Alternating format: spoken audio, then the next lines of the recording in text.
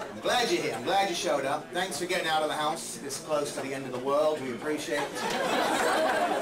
Everything's scary right now. Everything will kill you. It's all, you know, floods and hurricanes and global warming, terror. Britney Spears is reproducing. It's the apocalypse, man. What's deadlier right now? Terror or spinach? Salad is just as deadly as Osama bin Laden at this moment. Spinach is killing people. And I thought broccoli would have been the one, because that almost has E. coli in its name. Sounds deadly.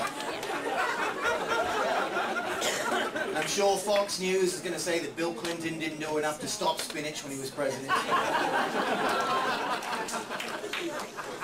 Bird flu, it's going to kill everybody. Some people in Turkey died of bird flu, and it's not funny that they died, but it's pretty damn funny that they died of bird flu in Turkey.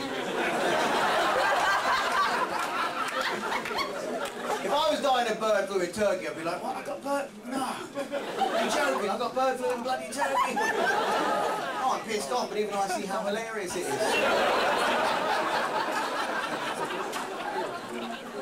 That's like freezing to death in Chile.